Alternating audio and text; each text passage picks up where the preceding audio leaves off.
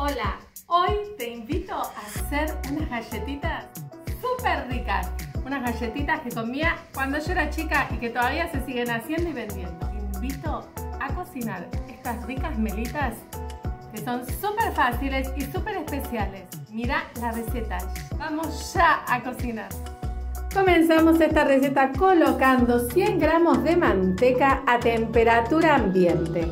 Le vamos a agregar 180 de azúcar rubia y vamos a batir. Vamos a batir con batidora un rato largo, casi te diría un poco más que si le pusieras azúcar blanca, porque cuesta un poco más disolver este azúcar.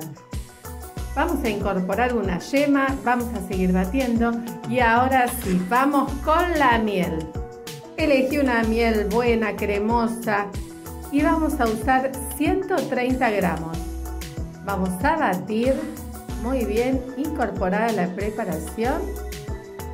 Y ahora sí vamos con nuestros ingredientes secos. Vamos a colocar 250 de harina 4.0, una pizca de sal, una cucharadita de polvo de hornear, una cucharadita de bicarbonato de amonio y una cucharadita de bicarbonato de sodio.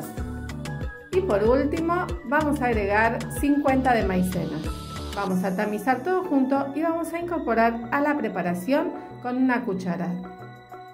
Terminamos de incorporar todos los ingredientes secos, vamos formando una masa que la vamos a llevar a la mesada y vamos a unir, no vamos a amasar, sino que vamos a unir hasta que esté nuestra masa toda integrada. Una vez que tenemos la masa integrada vamos a hacer un cilindro lo vamos a envolver en film y lo vamos a llevar al freezer por el tiempo de dos horas.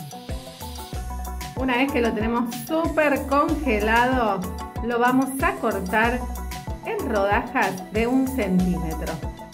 Cortamos toda nuestra masa y la vamos a colocar en una placa con papel manteca, papel antiadherente o placa siliconada bien separadas unas de otras. Mientras vas horneando unas, las otras las vamos a dejar en el freezer para que no se nos deformen. Las vamos a colocar bien separadas porque se van a agrandar.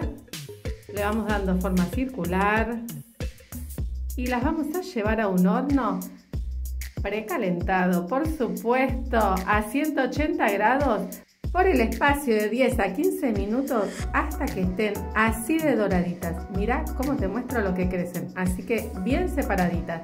Por supuesto que probé esta receta para hacerla sin tac y sale espectacular. Solo reemplaza la harina 4.0 por premezcla. Por supuesto que si no conseguís bicarbonato de amonio, que es súper importante para esta receta, no dejes de hacerla y hacerla solo con bicarbonato de sodio.